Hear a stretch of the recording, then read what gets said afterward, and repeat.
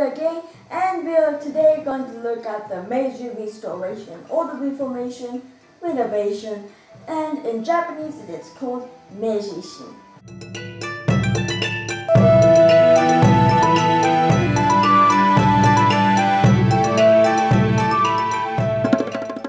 So, the introduction. Basically, throughout the course of the revolution, the power switched from the shogun Tokugawa Yoshinobu of Tokugawa shogunate to the emperor, or more specifically, Emperor Meiji.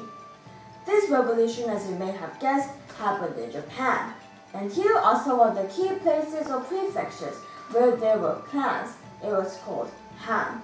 So in this revolution, the Satsuma Han, the Choshu Han, and the Tokugawa shogunate were involved. First, before we take a look at the actual revolution, I want to introduce some background situations to keep in mind. So the first background situation is the policy of isolation. This started in 1633, approximately 200 years before the revolution. Before the policy of isolation, there were a few things the government, Tokugawa shogunate, didn't like. One of them was the spread of Christianity in Japan. People from Christian countries were coming to Japan on ships, and some of them had the role of spreading Christianity. These were quite successful, some Japanese people were becoming Christians. In response to this, the Tokugawa shogunate developed a test to see whether a person was Christian or not. They had a metal plate with Jesus Christ carved on it. They made people step on the plate and if they couldn't step on it because the plate was too sacred, it would be confirmed that the person is a Christian and he or she will be punished. The second thing the Tokugawa shogunate didn't like was the laws of daimyos becoming richer. The reason to why the laws were becoming richer is that people from other countries were coming to Japan and they started trading. With both of these situations, the Tokugawa shogunate closed all ports therefore the policy of isolation. However, Port Uraga and Nagasaki were remained open so that the Tokugawa shogunate took as an interest. Fast forwarding about 200 years, another background situation is the Opium Wars which happened in China.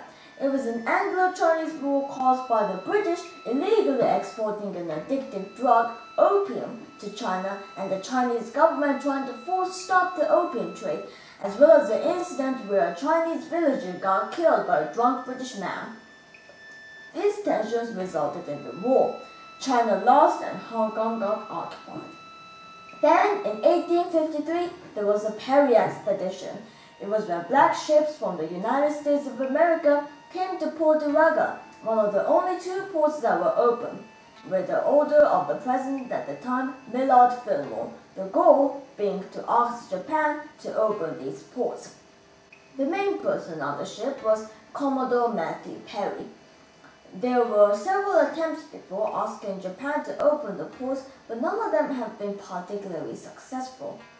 This time, Perry had a letter from the president, and he kind of forced Japan to open ports like, open ports or we will bomb you. Yeah.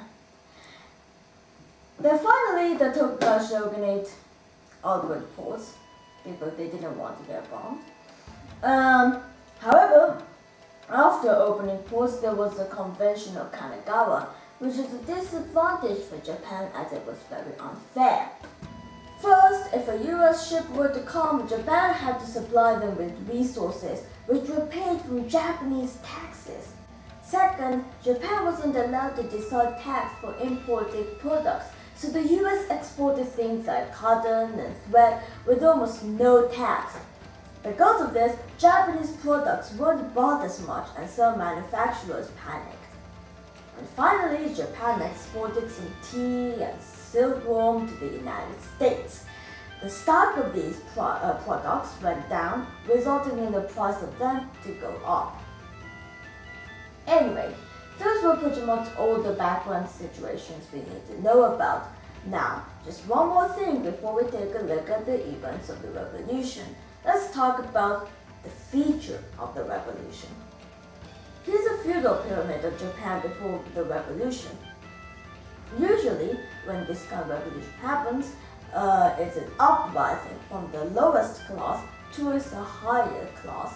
as the lower class may be treated unfairly. So in this case, it would be the common people rebelling against the Tokugawa shogunate. However, in this revolution, it was more about the knights or the samurais, as the common people didn't really know a lot about what was going on in their country at the time. Anyway, the samurais were trying to expel the people from other countries.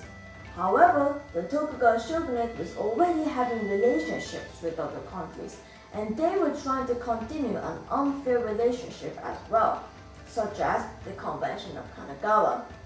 This made the samurais concerned that Japan might get occupied like in China with the Opium War. Thus, in this revolution, the Tokugawa shogunate is overthrown and the emperor comes into power.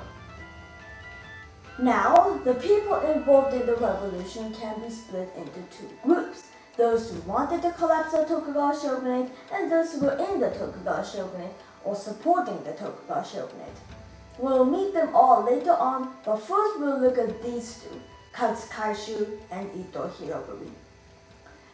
They both studied abroad, Katsu Kaishu from the Tokugawa shogunate side and Ito Hirobumi from the side which wanted to collapse the Tokugawa shogunate. First, we will look at Katsu Kaishu's trip to San Francisco. Katsu Kaishu went on a ship called the Kanrin Maru to San Francisco. He was very surprised at how developed the US cities was. For example, cities as he knew it looked like this. This is Edo, the capital city of Japan at the time, with only a couple of small houses. Now this is San Francisco. There were factories and also, unlike Japan, there was already democracy. Here, you can see the election result of 1860. Furthermore, capitalism had led to development in things like transportation, as you can see on the map that compares transportation in 1930 with that of 1960. There were even railroads in the US, while in Japan, people still used horses and cows to travel around. The second person we will look at that also studied abroad is Ito Hirobumi, one of the people from Choshu fight who wanted to collapse the Tokugawa shogunate. He went to London University in 1863 in a ship that looked like this. On the ship, he was asked what he wanted to study. He wanted to say Navy as in naval science, but his pronunciation sounded like Navy, so he needed to practice some navigation all the way to London. anyway, he was also surprised uh, in London. There were steam engines, factories, museums, banks, and buildings.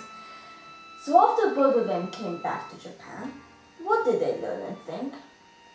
Well, they now decided that expelling other countries might not have been the way forward. Instead, they came up with a new approach. They felt the need to make a modern Japan by learning technology and social systems from other countries. They thought that with modern Japan, they could have a fair relationship with other countries instead of unfair ones like the Convention of Kanagawa.